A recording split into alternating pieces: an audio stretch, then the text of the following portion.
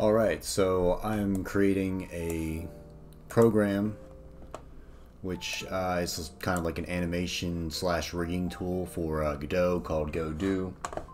And uh, what I'm going to demonstrate right now is I have this Mixamo Run Fast FBX that I've downloaded and I'm going to auto rig a sprite sheet in uh, Godot with my program. So I have that in this folder FBX files right here. I have my program open here. Uh, I'm going to choose a folder where I want the PNGs to be, choose a sprite sheet location where I want my sprite sheet to be output to. So we'll also add our FBX uh, file. So we're getting this FBX folder with our one file in it. And then what I'll do is hit this button down here to run the Blender process. And the Blender is opened up. Over here, it's going to remain black because it's not going to load until our script runs, but you can see it's rotating. And I'll just wait for this to finish. And then it pops up. So I just have this script in here that auto runs. And all it does is just take our model and uh, render it in um, all directions on the z-axis for eight directional movement. So it'll play the animation there and render that, play it there, render that, play it there, render that, and go all the way around for eight directions because I'm doing this for eight directional movement. I don't want to save it. But now, since we ran our Blender process, if I go to my PNGs, I now have uh, a folder named the same as the FBX, which has my individual PNGs for each direction.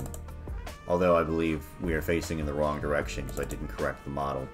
But I'll have that fixed when, when time comes to that. But yeah, you can see there each direction for uh, eight directional movement. So now that I have that, I go back to my program and I'll say create sprite sheet. And you can see some stuff popped up down here. So then if I go to my sprite sheet, I have a sprite sheet built of all of the different directions of running. And so here's, that's, uh, you know, that's pretty standard. A lot of people already have stuff like that. This is where I have kind of my cool thing, where if I go down here and I say create Godot scene, we now go back to there and we have this tester.tscn. So if I take both of these files and I just copy them and then I paste them into this blank Godot uh, file that I already have. So I'll just go there and go, uh, let's just say paste. Where's that? Paste. All right. Okay, so yeah, you can see that we have uh, them right here and right there now. So I'll go, uh, let me go to my documents and open up Godot, go to my desktop, and uh, we'll go to Godot 3.4. We'll open that up, and then if I go down here to my testing project, we can open this up and we'll say fix dependencies. And we just need to set it to the sprite sheet that we brought over with it and we'll say open anyways. We then go to my sprite and you can see we have all these already rigged we have to change them to I think 24 FPS down left fast that should make it right there we go yeah so that looks better I think we're missing a frame maybe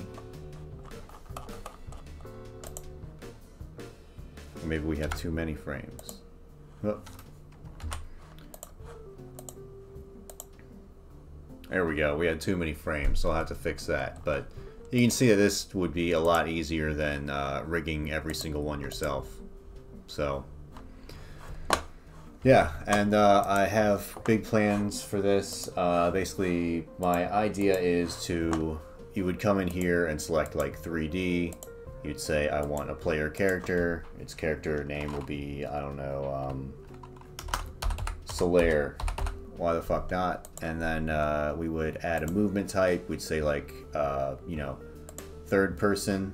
And then that would, you'd hit create a Godot scene and you would have a player character uh, with a scene named Solaire and it would have a kinematic body with your model rigged and ready to go.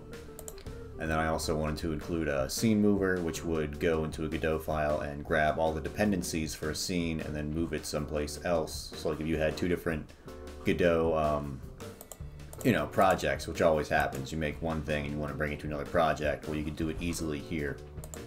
So, yeah, I'm, uh, I'm going to continue working on this, and I'll probably put out a, um, a demo on uh, hopefully the end of October, and I'm just going to make this free for everyone. I don't see any reason to charge or anything. It's not anything special. It'll be open source up on my GitHub, and that'll be towards the end of uh, the month of October. Anyway, uh, thanks for watching.